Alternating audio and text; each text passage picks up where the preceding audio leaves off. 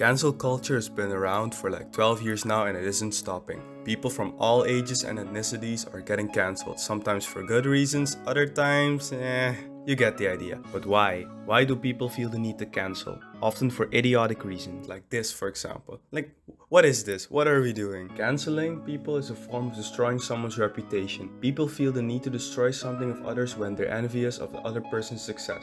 Aren't happy on the inside and then they try to bring someone down to their level of sadness. You can find a lot of these people on Twitter. Now listen, not because you use Twitter does it mean that you are one of these sad individuals. No, the sad trolls are those people who spend more than half of their day on the platform trying to find someone or something to cancel. They are sometimes in love with another something, i.e. a band or activist group, you get the idea. This doesn't just happen on Twitter, but Twitter is the most known. You have some famous examples like Eminem said the N-word a few years ago.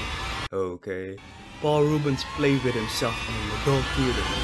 Alright, when Liam Neeson was young and naive, he was a racist.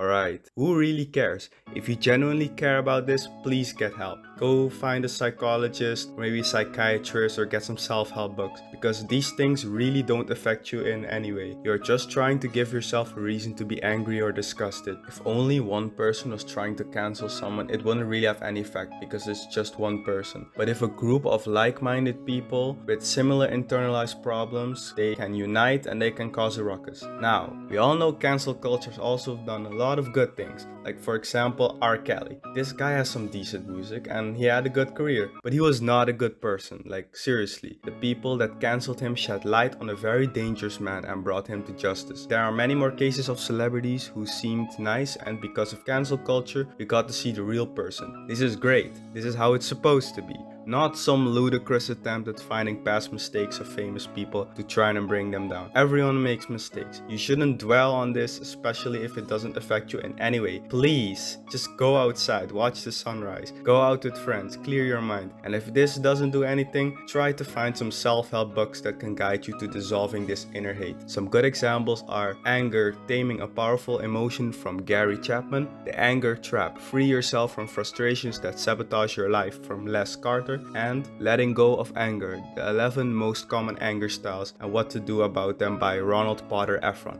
That's the end of this video. If you liked it, I'd appreciate it if you slap the like button and subscribe. If you didn't or you disagreed, write it down in the comments and let's talk.